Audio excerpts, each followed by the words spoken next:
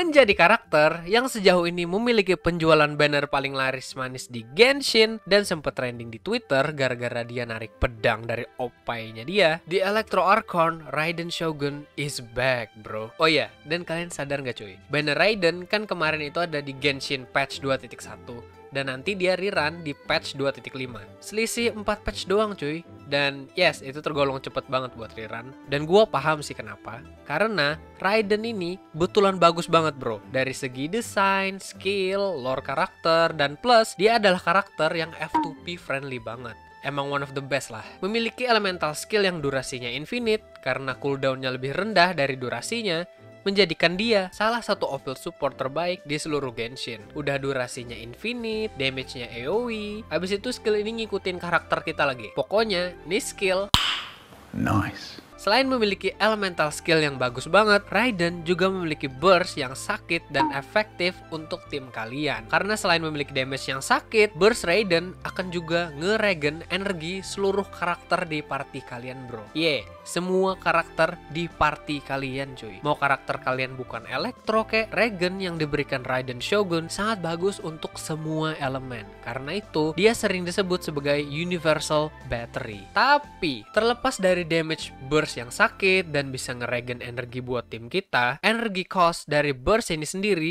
itu gede banget cuy, yaitu 90 energi. Dan sejauh ini ya, saat video ini dibuat, 90 energi adalah energi cost terbesar untuk sebuah elemental burst. Dan cuma dua karakter yang mempunyai elemental burst yang costnya 90 by the way, yaitu Raiden Shogun dan Yaemiko cuy. Dan karena Raiden energi costnya gede banget, tentunya dia perlu yang namanya energi recharge kan. Dan setelah make Raiden beberapa bulan belakangan ini, 200% sampai 220% energi recharge itu udah enak lah buat Raiden. Nah, sejak Raiden Shogun adalah user pole arm, tentunya dia memerlukan pole arm yang ngasih energi recharge juga ya bro. Dan untuk masalah ini, santuy coy, kalian gak usah pusing lagi. Soalnya ada pole arm yang 100% F2P dan cocok serta bagus banget buat Raiden, yaitu The Catch. Ini pole arm seolah dibikin MiHoYo khusus buat buat Raiden. Udah ngasih energi recharge serta skill dari senjata ini tuh cocok banget buat Raiden. Sumpah dah. Meningkatkan elemental burst damage sebesar 32% dan elemental burst crit rate sebesar 16%. Dan ingat, senjata ini 100% F2P bro. Dan cara dapetinnya mudah banget kok. Kalian tinggal pergi ke Kujirai Fishing Association di Inazuma yang lokasinya itu di sini dan kalian bisa tukarkan ikan hasil pancingan kalian di sini dengan the catch serta bahan untuk nge-refine senjata ini. Dan iya ya, gua tahu sebagian besar orang mungkin menganggap memancing di Genshin itu ngebosenin banget dan gua jujur juga merasa gitu kok. Tapi ya mau gimana lagi ya cuy kaum F2P kayak kita emang harus gini bro. Jadi ya semangat aja ya kalian. Weapon ini worth it banget kok dijamin dah. Dan tentunya Raiden Shogun punya gua pakai the catch juga bro. Jadi kalau urusan senjata mah santuy aja cuy pakein aja senjata ini. Dijamin bagus kok. Dan kalau kalian penasaran Raiden Artifacts sama buildnya gimana dah? Santuy bro. Artifacts terbaiknya dia adalah Severed Fate yang lokasi farmingnya itu di sini ya. Dan kalau stat untuk tiap artifactsnya kalau punya gue cuy itu kayak gini lah bang, bukannya kalau pakai energi recharge damage-nya Raiden Shogun ikutan berkurang juga bang? Um, AIDS nggak gitu juga bro. Soalnya cara main Raiden Shogun emang gini. Dan meskipun kalau energi recharge punya Raiden kalian di atas 100% ya, santuy. Dia ada passive talent yang akan nge-convert setiap 1% energi recharge di atas 100% yang kalian miliki menjadi 0,4% electro damage bonus. Jadi misal kalau kalian punya 200% energi recharge nih, itu artinya kalian juga dapat 40% electro damage bonus dari pasif ini. Ya lumayan kan? Bang, gue belum bisa farming Spirit Fate karena Inazuma belum kebuka bang. Gue pakai artefak apa anda? Bagi teman-teman yang belum mencapai Inazuma, kalau saran gue sih, sebaiknya kalian selesain quest dan buka Inazuma dulu aja cuy. Soalnya artefak Spirit Fate itu paling the best lah buat Raiden. Dan gue jujur gak mau rekomendasiin artefak yang lain juga cuy. Karena artefak paling bagus buat dia ya ini. Jadi buat temen-temen yang mau full Raiden tapi Inazuma belum kebuka, kalian jangan farming artefak yang lain ya. Dan buka aja Inazuma dulu, baru farming artefak gitu. Emang Raiden Shogun masih meta bang?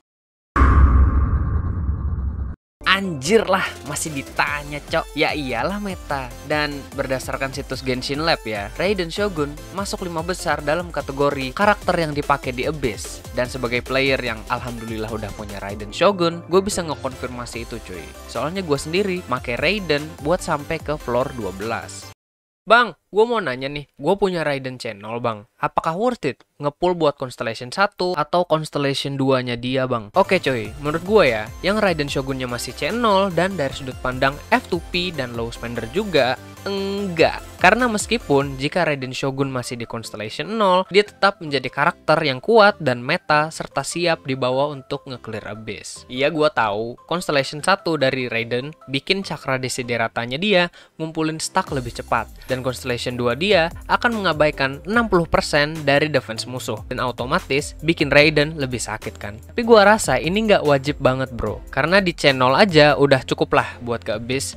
Dan gua sarankan agar kalian simpen Primo demi karakter lain aja. Tapi inget ya bro, itu pendapat dan saran gua sebagai player carry hore. Jadi, overall, nih karakter adalah off-field support, universal battery, sub DPS, dan sebenarnya Raiden juga bisa sih dimainin sebagai main DPS. Tapi tentunya memerlukan susunan tim yang khusus juga bro. Contohnya seperti ini. Yap, betul. Betul, salah satu tim yang di mana Raiden bisa menjadi main DPS adalah tim yang diisi 4 star ini cuy. Kalau sebutan orang-orang sih, ini namanya Raiden National Team. Udah banyak orang testing pakai tim ini by the way. Dan kebukti emang bagus banget sih. Oke cuy, semoga video ini bisa memberikan gambaran betapa bagusnya Raiden ya. Dan makasih banget buat teman-teman yang udah klik dan nonton video ini.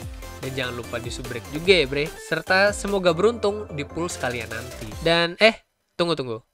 Kalau kalian mau pull Raiden, dia ada satu kekurangan bro. Ini cewek nggak bisa masak.